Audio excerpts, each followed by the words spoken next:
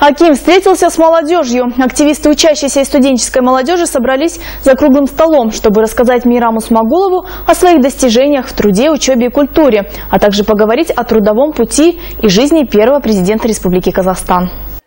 В зале первого президента, который совсем недавно открылся в школе-лицее номер 101, собрались молодежные лидеры, представители студенческих и школьных молодежных организаций. Раньше здесь проходили уроки истории и международного права, а сегодня состоялась душевная беседа. В преддверии Дня первого президента Аким Караганды поговорил с молодежью о выдающейся личности, человеке, благодаря которому за короткие 20 лет Казахстан стал одним из успешных государств мира, о Нурсултане Назарбаеве. Мы тоже были студентами, но студентом был президент.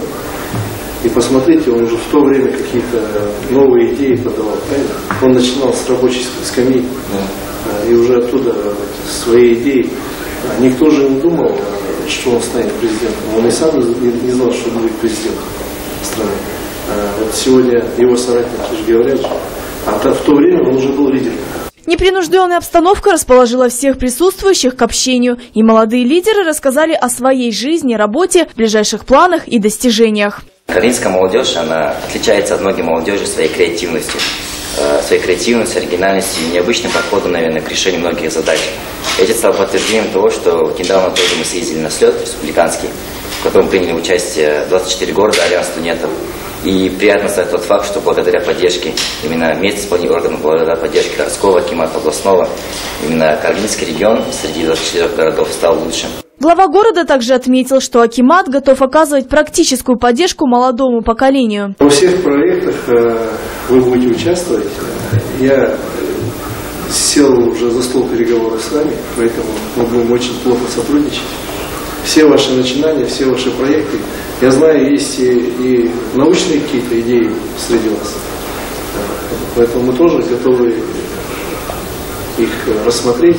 Школьники представили Акиму свои проекты. К примеру, учащиеся гимназии номер 97 соорудили макет детской клинической больницы в их представлении. По задумкам молодых проектировщиков, там должен быть питомник для животных и обилие зелени. При выборе темы о проекте мы делали анкетирование, которое проходилось э, во всей нашей школе.